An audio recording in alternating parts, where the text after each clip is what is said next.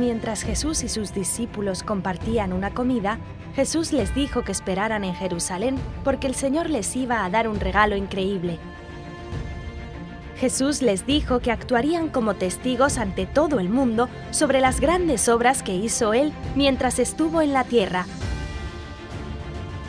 Entonces, justo delante de sus ojos, Jesús se elevó hacia el cielo y se escondió de ellos en una nube. Jesús ascendió a los cielos tal y como había prometido. Mientras estaban allí mirando al cielo, aparecieron dos ángeles. Les preguntaron a los discípulos, ¿por qué están mirando al cielo? Jesús regresará a la tierra un día de la misma manera que se fue.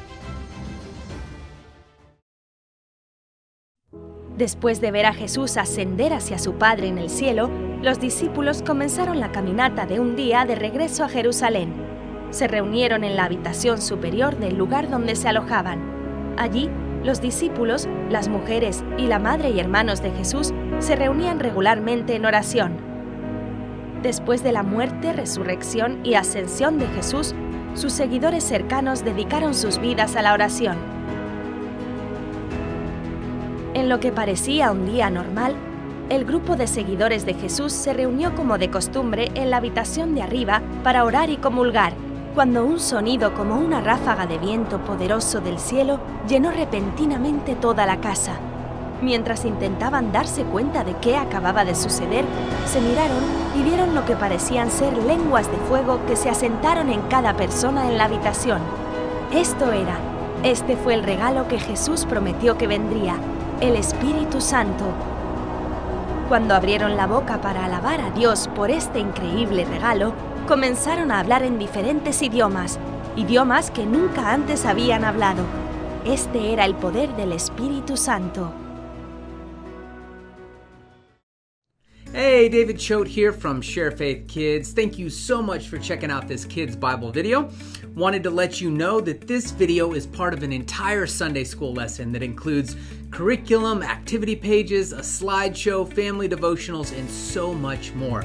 If you're interested and would like to explore this lesson a little bit further, please check out the link in the description below. As always, subscribe, like this video, and hit that bell for notifications. Uh, but for now, let's get you back to your video. Jerusalén estaba llena de personas que habían viajado desde muchos países extranjeros para el Festival de Pentecostés. Estos peregrinos extranjeros comenzaron a escuchar a los discípulos que hablaban idiomas extranjeros. Una multitud de personas aturdidas y confundidas se reunieron fuera de la casa donde se alojaban los discípulos. Cuando los discípulos hablaron, la gente de la multitud los escuchó hablar en sus propios idiomas extranjeros. ¿Cómo era esto posible? Algunas personas se asombraron preguntándose qué podría significar esto, pero otras se burlaron de los discípulos y dijeron que estaban borrachos. Pedro salió de la casa y se dirigió a la multitud para explicarles cómo eran capaces de hablar todas estas lenguas. Le dijo a la multitud que todo lo que estaba sucediendo en este momento ya había sido prometido hace mucho tiempo en las Escrituras.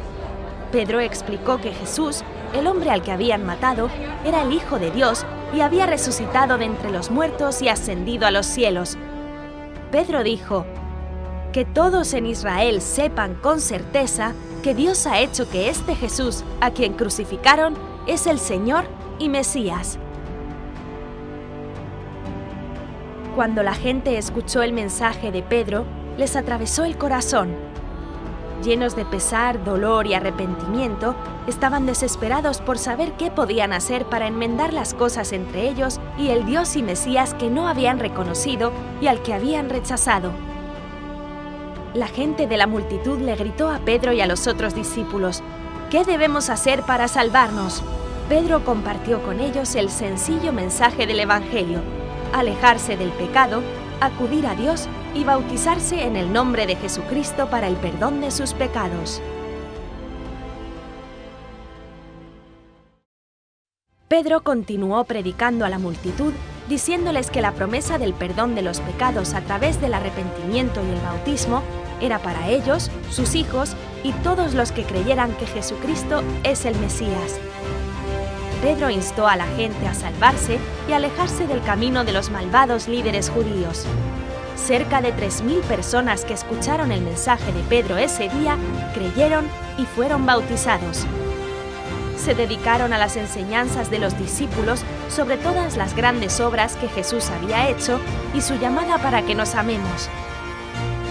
Este grupo de nuevos creyentes se reunió para aprender, comulgar y orar juntos, tal y como lo hacemos hoy. Este fue el nacimiento de la Iglesia cristiana.